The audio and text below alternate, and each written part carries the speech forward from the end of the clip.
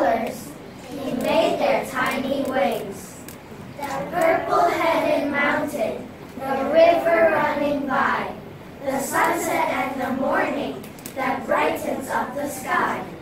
The cold wind in the winter, the pleasant summer sun, the ripe fruits in the garden, he made them every one. He gave us eyes to see them, and lips that we might tell.